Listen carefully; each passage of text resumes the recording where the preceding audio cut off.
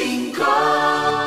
¿Qué temas van a discutir mañana aquí? Bueno, hay una cuestión central para nosotros que es la construcción de una alternativa política nacional. Entonces, lo que uno tiene que hacer, sobre todo en este año, es mirarse hacia adentro, intentar mejorar, abrir un espacio de convocatoria, de discusión, todo como el de Viner, tiene muchas condiciones, fundamentalmente por tener un liderazgo ejemplar. Y eso es lo que hace falta para recuperar la confianza en la política, pero además es una persona que viene desde la experiencia de gestión. Entonces, lo que nosotros estamos haciendo en estos encuentros nacionales es discutir discutir obviamente cómo se construye esa fuerza política para que realmente pueda gobernar la Argentina. Y lo hacemos también discutiendo lo que va a ser posiblemente dentro de un año un plan estratégico, que es mucho más que un programa de gobierno, que lo que se trata es discutir cuál es el futuro que queremos los argentinos para la Argentina de los años que vienen. Y eso se discute a través de estos encuentros donde nosotros analizamos las cuestiones institucionales, la educación, pero también los mecanismos para distribuir más equitativamente las riquezas